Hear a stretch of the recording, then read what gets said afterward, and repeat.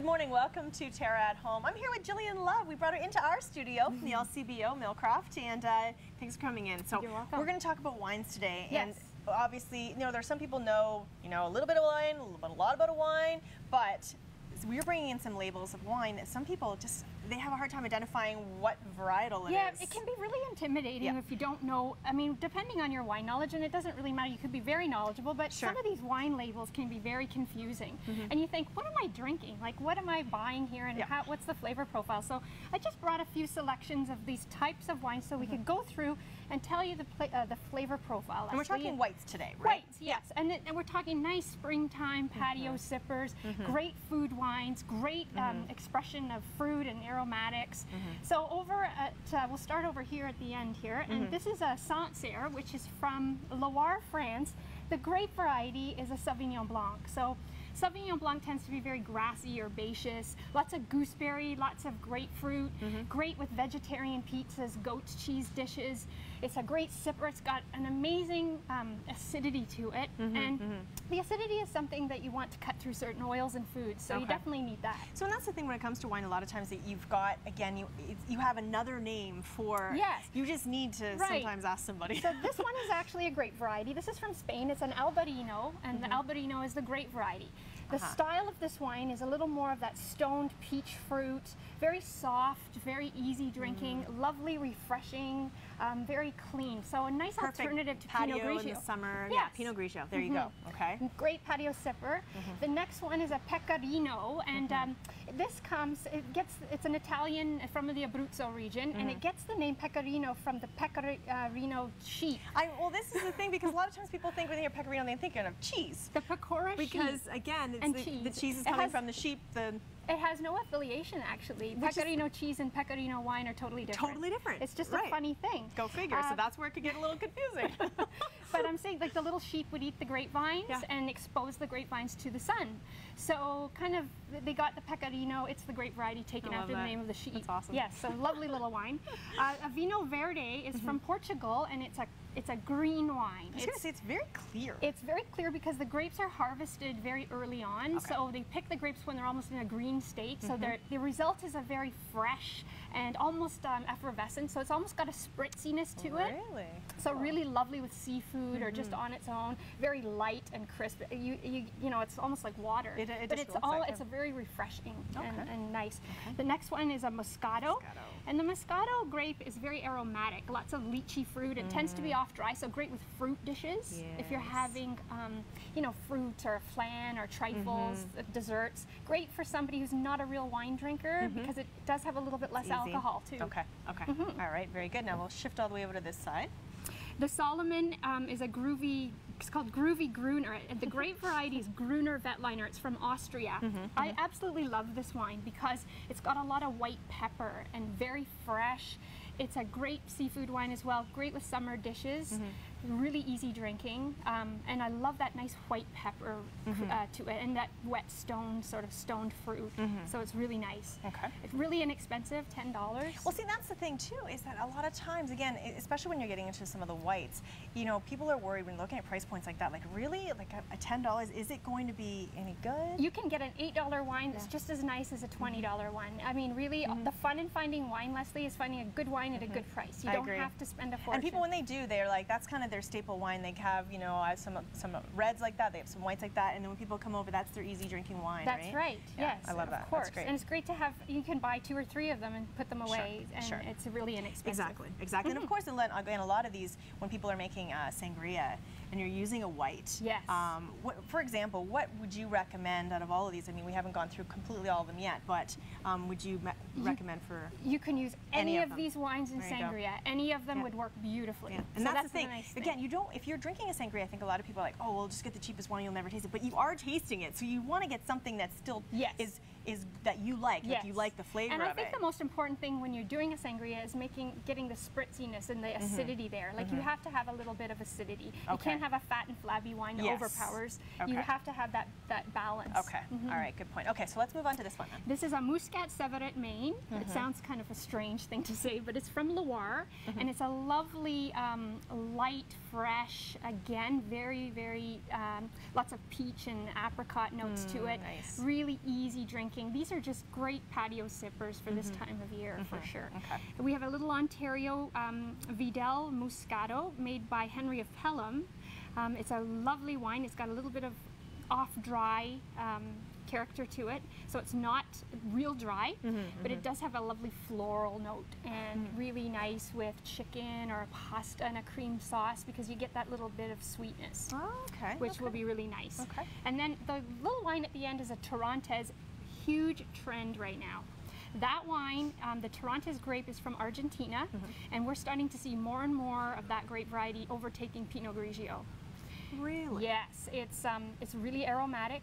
It's um, it's a much more floral than Pinot Grigio, Okay, mhm. if you know what I mean. So Yep, you get I a do. nice floral note to it on the nose, on the palate. You get nice aromatic uh, or nice, um, lovely sweet, not sweet, but kind of soft fruit flavored Mm-hmm. character, and still that acidity to balance. So great expression, really well balanced. Now, are you finding that, um, you know, if you're saying that that's kind of competing with Pinot Grigio, is Pinot Grigio kind of the, the sort of the it white wine Pin- for women in general? Yeah, that's where they kind Pinot of. Grigio tends to be the go-to wine. Yeah. There- Pinot Grigio is now made everywhere in the world. Mm-hmm. It comes from Italy, um, but it does have. It tends to be very, very different, no matter like depending on which kind of Pinot Grigio you're That's buying. what I find, If you're yeah. buying Pinot Grigio from California, say, you're getting a lot softer style, more Okay. fruit. If you're buying a Pinot Grigio from Italy, you're getting more acidity. But you have to keep in That's it mind that acidity is very important with food because you need the acid. to Especially cut if you're eating through. fats, right? If you're Yes. even having fats. Yes. And I think, okay, so people are looking at these wines, and that's the thing. A lot of times, uh, you know, as you're going along, you're saying, oh, this would be better with fruit, this one would be better with seafood, this would be better chicken.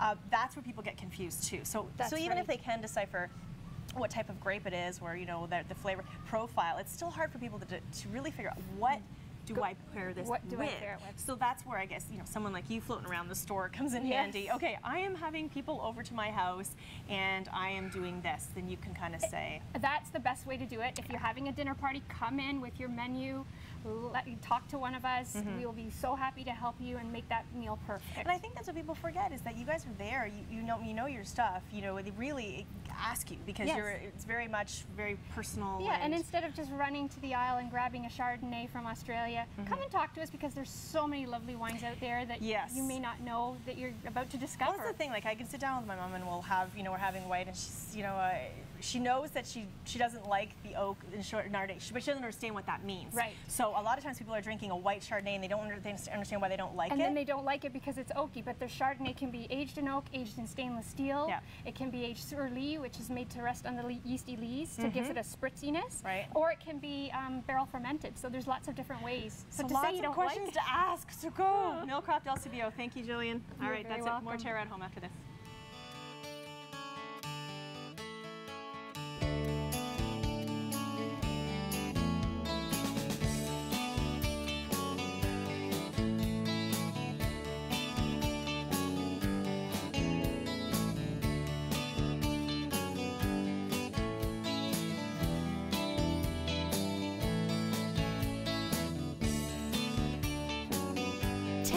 Where color lives.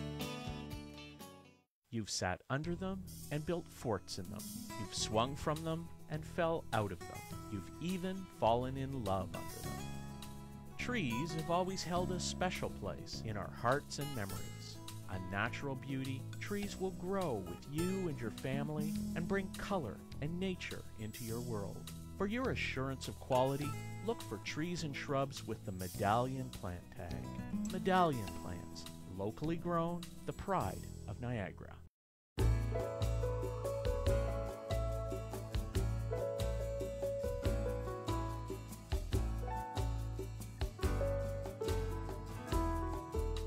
Heritage Perennials. Look for us in the blue pots.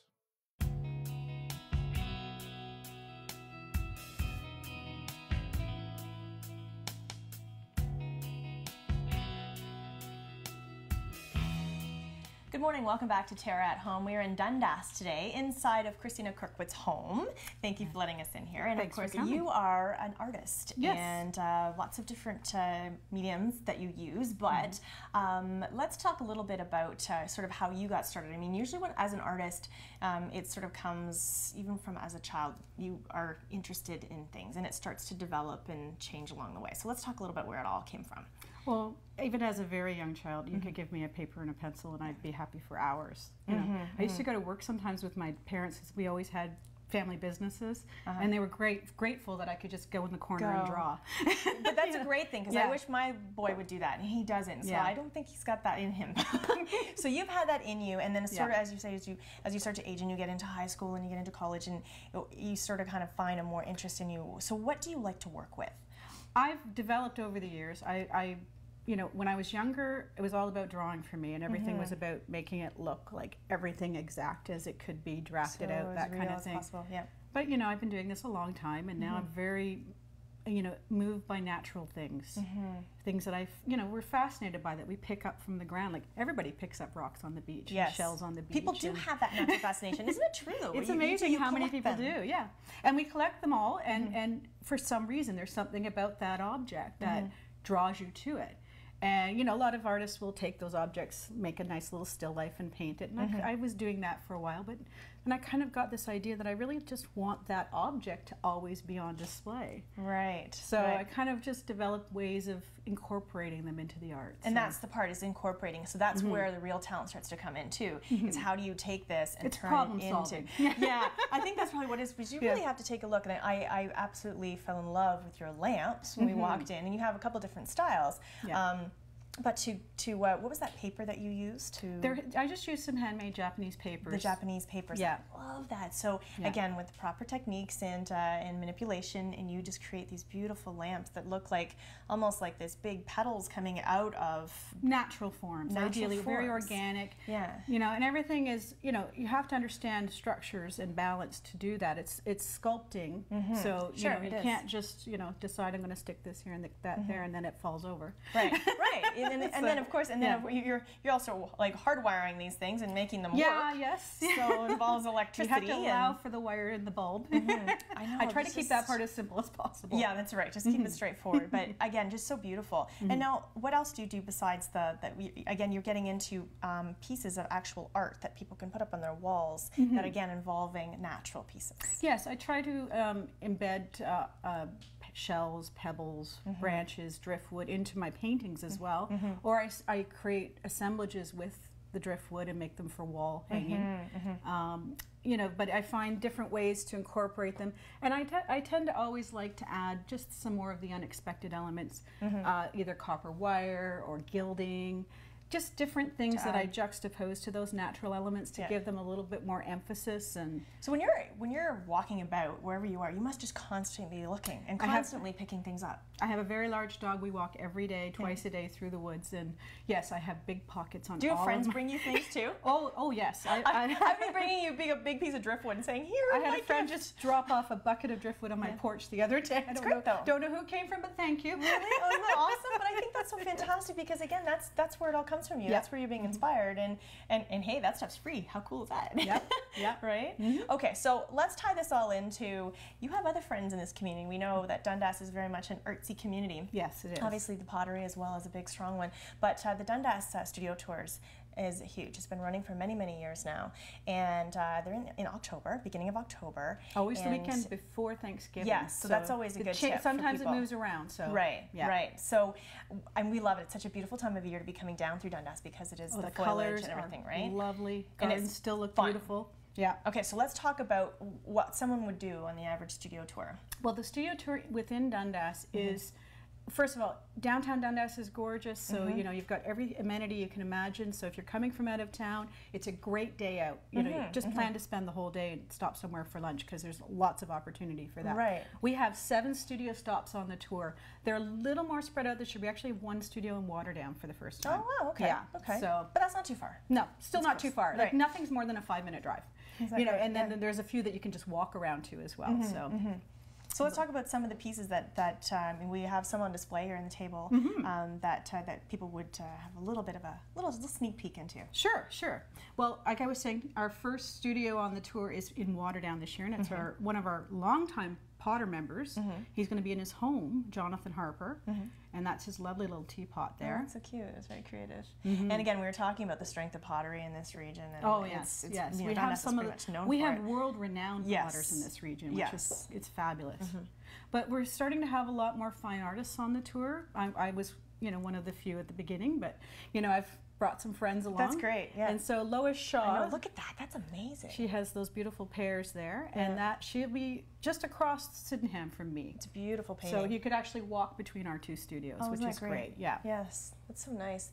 And uh, so continuing on. Well, we, I have some guests in my studio this year, Mm-hmm. some fabulous glass artists. The first one here with the beautiful flowers and the purpley bowl is Kelly Lowell. And a lot of people might know Kelly because she's a local Hamilton girl and she gave out the ham, the Glass Hammer Awards. Yes, that's Yeah. right. I'm thinking, how do I know that name? Yeah, But that's what it is. Oh, wonderful. Yeah, fabulous nice. glass blower. Um, and then I also have uh, Leslie winemaker who does these fun lampwork glass, which Oh, is a completely different kind of glass where you're you're working with a torch and you know Yes, I've seen your Yeah. Mm-hmm. stuff before too. It's really creative and really fun and whimsical, kind of, isn't it? Yeah, Yeah, it. yeah. I love that. That's really great. So again, this is what so people are walking into. So when when someone comes to your your studio, Mm-hmm. they're they're welcomed in to come in. Now, people can people purchase at that time? Oh yes, yes. yes. okay. Mm-hmm. Everything on the tour is for sale, um, and there's. Uh, a lot of the artists are welcome to take commissions as well. Some of the works, if you okay. needed, like we even have woodworkers and different Sure. mediums. Like if there's something you needed, they might consider doing it to spec. I know I'm good with that. So, Right.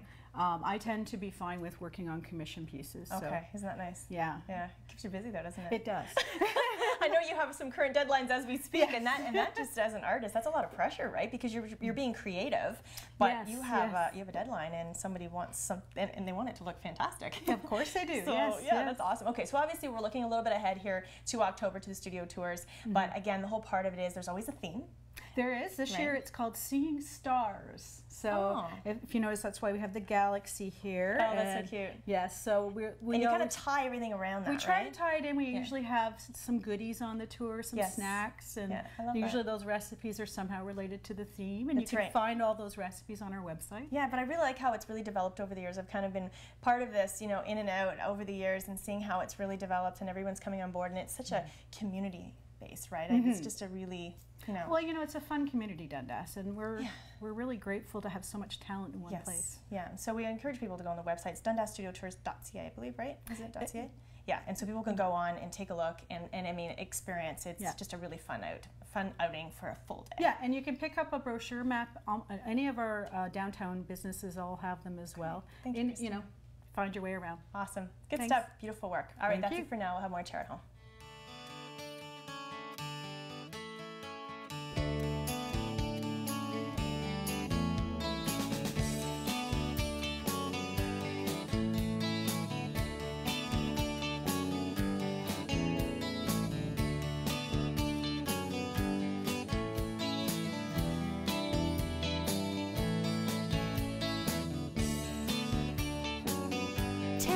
Where color lives.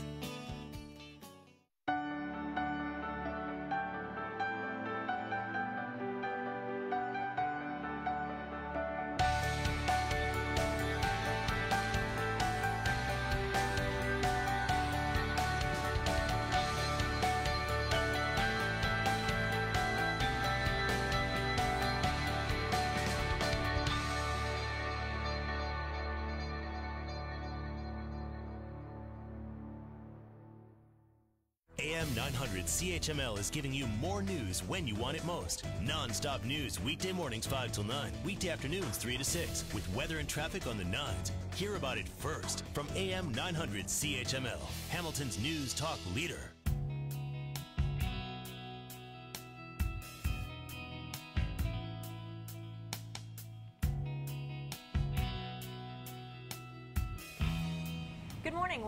Terra at Home. We're in the Terra kitchen today, and we're here with Chef Rachel. And uh, of course, being summertime, uh, we are putting together some nice summer recipes. So, Yes. what are we making today? Today we're going to do some steak fajitas. Oh, yum. We're going to make them smoky in flavor. Okay. And um, pair it with a chipotle lime aioli, we call it. This all sounds really good. Yeah, so We're a, a little excited.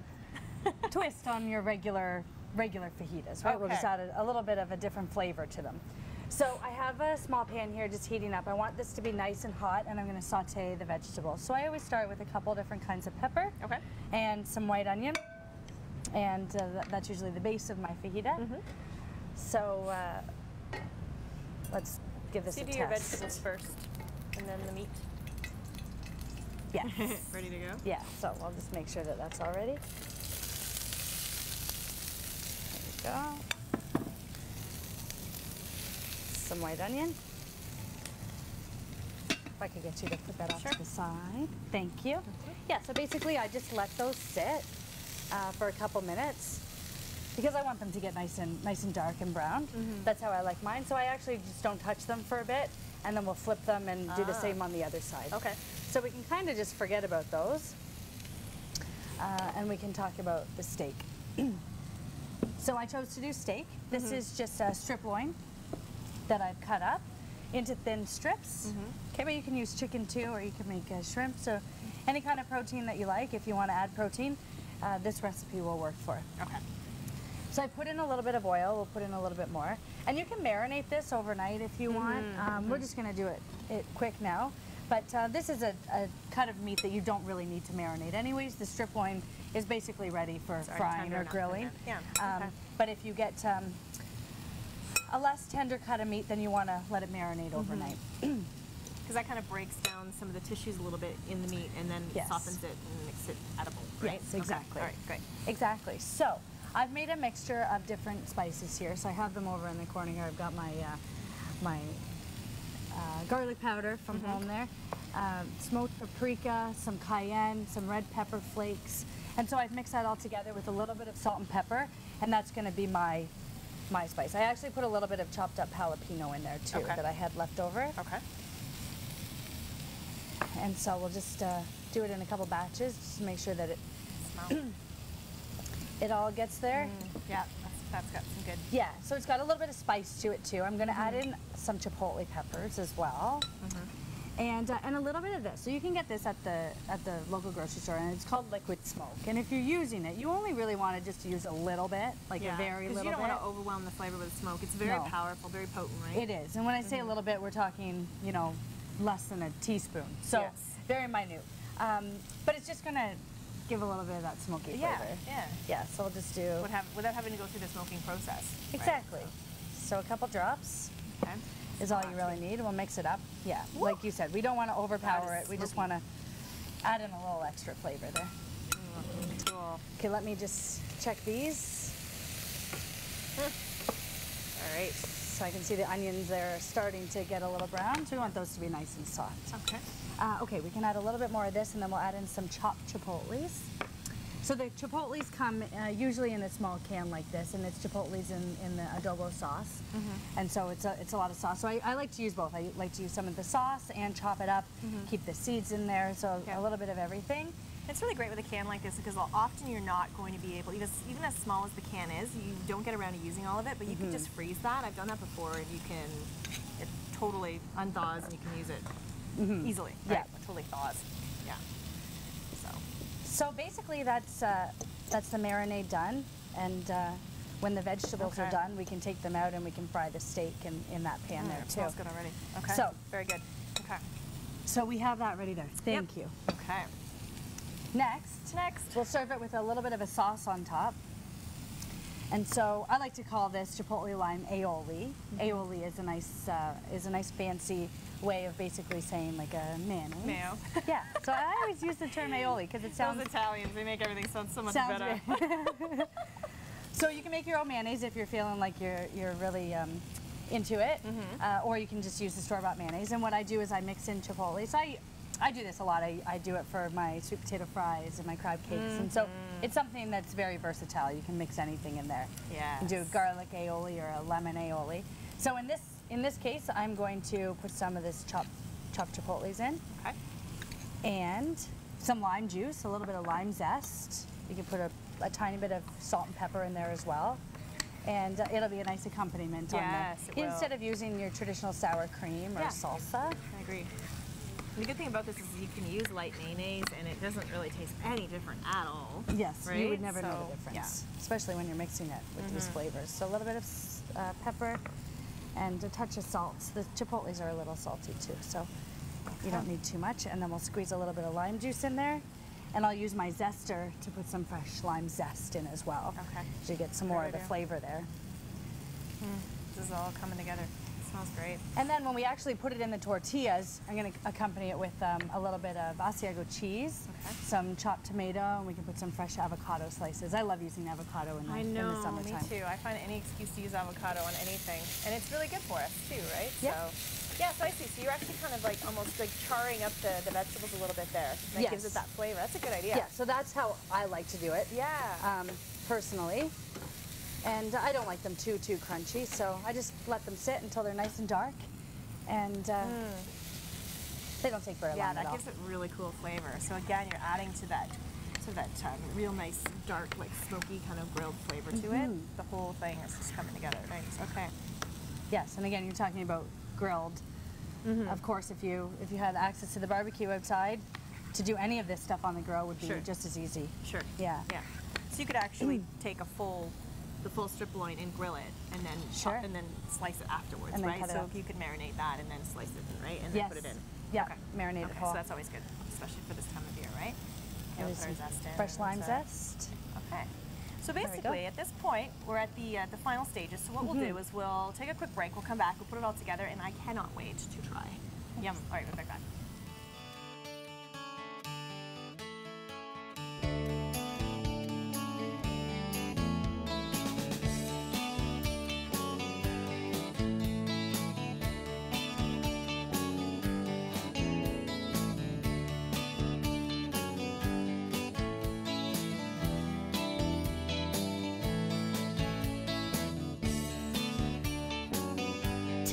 Where color lives.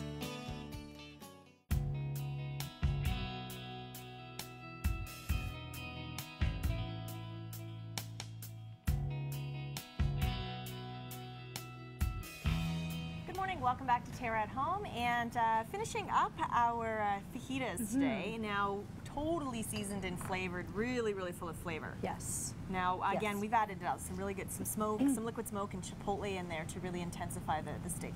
Right? Yes. Yeah, and just some spices that were in the cupboard. Yep. Um, after the vegetables were done, I transferred them to a bowl, and then just I just did the steak in the same pan. Okay. Um, yeah, so the steak obviously doesn't take very long. I want to make sure that it's all cooked throughout, and then we're ready to assemble. All right. So we'll start with our uh, our chipotle lime aioli, and put a little bit of that on the bottom. I always like to start with uh, a little bit of a base, but we can put some on top too because it's so good. And these are actually whole wheat um, They are.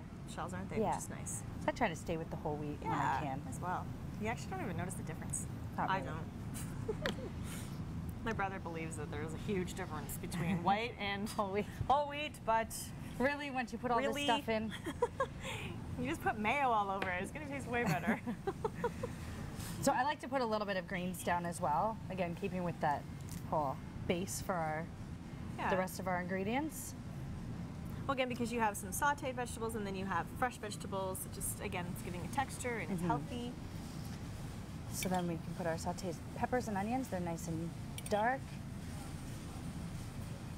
So just a reminder of, of course, as uh, Chef Rachel's putting together our fajitas here, that you can find all of uh, Rachel's recipes on our website at terragreenhouses.com, and uh, lots of good summer ones to come out as we make our way through. So you'll have to stay tuned. Yep. We so all can't wait to try these. They smell so good. Smoky steak on top. Everyone that's coming through the store is stopping. What's she making? Smells so good. Smells so good.